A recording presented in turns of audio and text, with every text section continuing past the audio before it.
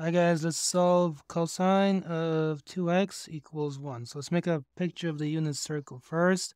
Begin here, so and then you spin once around, for example. So this is 0 degrees when you come back, it's 2 pi radians or 0 radians. But then you can just continue to spin and come back, so it's going to be 4 pi radians and so on. When you say 4 pi, that really means 2 times 2 pi. It's a multiple of 2 pi. When you say 2 pi, we mean 1 times 2 pi.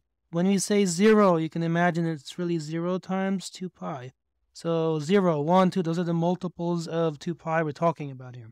Okay, that's only one aspect. This is the other one now. So now you have to imagine beginning from 0, you can just as well spin in this direction, opposite direction. That's negative 2 pi, which is negative 1 times 2 pi. But then you can spin and come back. That's going to be, for this one, negative 4 pi, but that's negative 2 times 2 pi. Again, everything here is a multiple of 2 pi. So our equation then has to express that. It's got to say whatever the angle is, which is 2x here ultimately. So 2x has to be equal to k times 2 pi. But now the 2's cancel. That means x has to be equal to k times pi. Leave a like if it's helpful.